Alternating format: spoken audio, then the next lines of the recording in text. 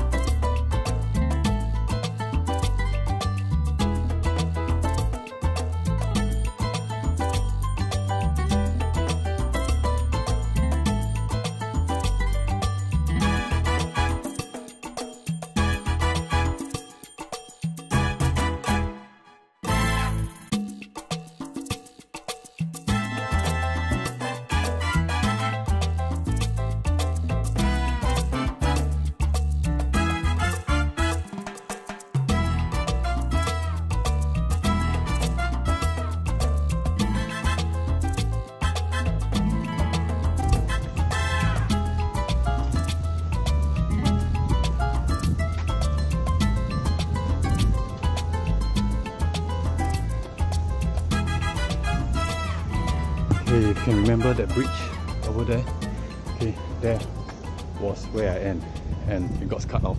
So I went over outside and end the route. So over here, this is where it ends as well. Okay, so I'm just gonna head out to the road and connect back to the other side.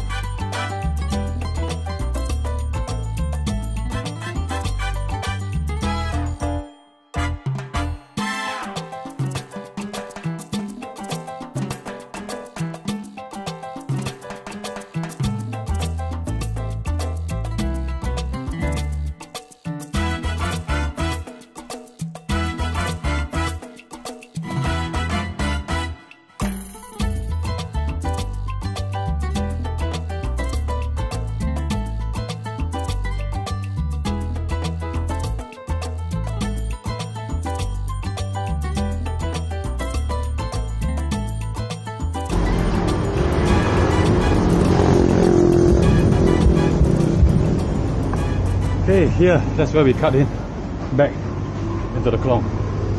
Okay, so so you're going to head over to the other side. Okay, that's where the bridge is, where I always end. So this, I think, I've ran this many times, but it's always from that direction back here. So now to the opposite direction. Let's go.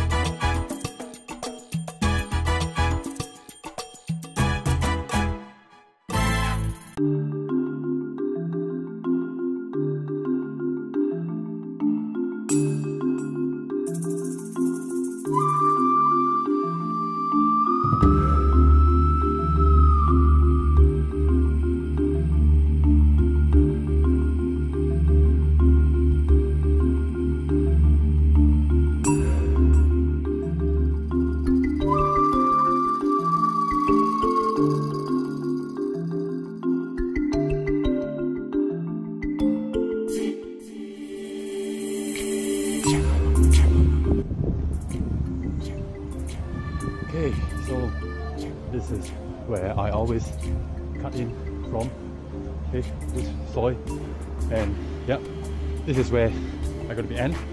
Okay, further down, of course, you can still proceed. Okay, I see the bridge in my previous video, and when you cross over to where the this building is in front, where I'm pointing.